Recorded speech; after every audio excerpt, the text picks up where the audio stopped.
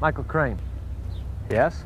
My name is Detective Samuel Cruz, FBI. I'd like to talk to you about the disappearance. Disappearance of Emily Jones? You know about it. I already talked to the cops days ago.